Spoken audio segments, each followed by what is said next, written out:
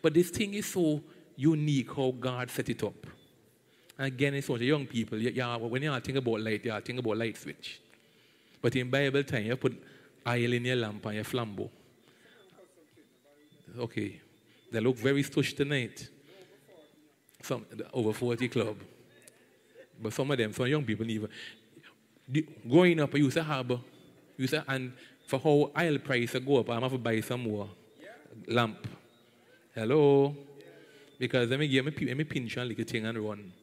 When fuel price go up, it don't only affect the gas now, but the gas have to go in the generator for put on the light. So when if you thought the bill and them were coming high before, me tell you put on your seatbelt. They call it fuel variation. Oh my God. Hmm. Fuel variation. Old time had a lamp. And once your lamp was shining, slowly the oil began to go down. Let your light so shine before, and you're shining and you're shining. But are you checking the amount of oil in your lamp? No matter how we stand up and shine, you better get back to tap up your oil supply. So many giving out, giving out this and worship, and ah, you better get tap up. On the inside of you Make time to get back that oil on the inside of you. Because, like the five foolish virgin, when time came to shine, to do their work, they realize no oil in their lamp. I wonder if I can get a binoculars and look around this park tonight and check the oil level. You know, you go check your car. One of the things about the service in they always check your oil. How oily are you tonight? Oh, come on. hear me?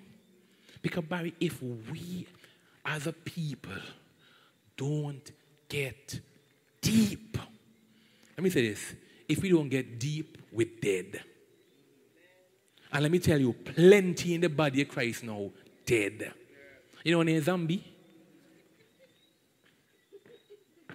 they're walking but they dead. You see some of the complaints, you know, when no oil in, in inside engine is squeak, the oil will keep it flowing smooth. I'll teach you to dance smooth when I done. smooth, flowing. When no oil day, it squeak. You know, you, you know what the squeak name? Complaining. Church too long, church too short Pastor too loud. Pastor too soft. Squeak, squeak, squeak. But what causing the squeak now? No oil. Ah. Because you see the oil. The oil is the oil of joy. The oil is that joy, Barry, that make you go through situations that would drive other people crazy. Yet, like Job, Job jumped down and said, God, you give and you take away. Blessed be the name of the Lord. But that only can happen when you're oily. That can only happen when you're out there in the deep.